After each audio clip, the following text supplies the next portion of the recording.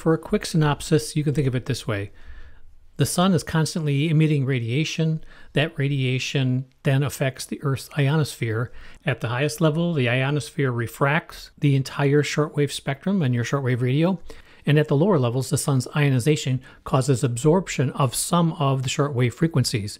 And I'll talk more about that later. So during midday and early afternoon, a lot of those frequencies under, say, 7 megahertz are absorbed, and you don't hear much on your shortwave. There are also some other components of solar activity that affect shortwave listening. One is solar flares, which is a burst of energy towards Earth, causing more ionization. Another one is a geomagnetic storm, which basically compresses the Earth's magnetic field, allowing more particles to come into the uh, magnetic field lines of the Earth. That affects propagation as well.